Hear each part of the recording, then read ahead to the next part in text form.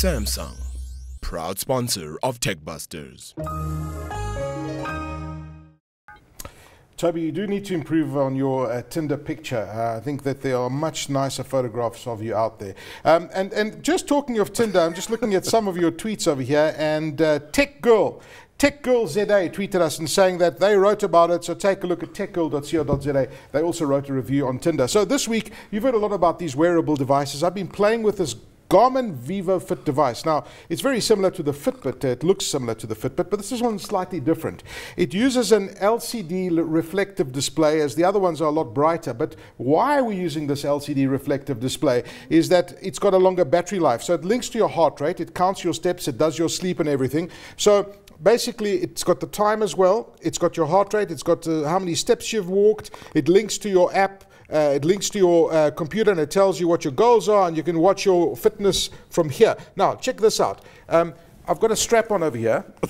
Sorry, that came out so wrong. I've got a strap over here. There's the heart rate monitor. I'm going to strap on and let me take some Oh, of my up, shirt off. So you, you, you gotta. You, Well, yeah, oh, we keep got- quiet. I So can't you- understand shirt. You gotta wear the heart rate monitor, Yeah, and just- then as you start running, you'll see the heart rate.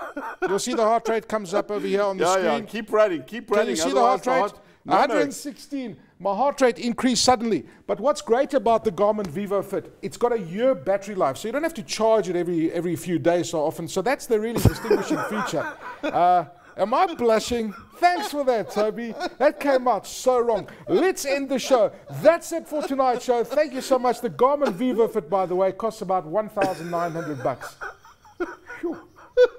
Remember to keep those tweets coming in. Awkward moment. Tell us about what you want to see on the show. If you've got a question, please don't hesitate to ask Toby. He's at Shapshak.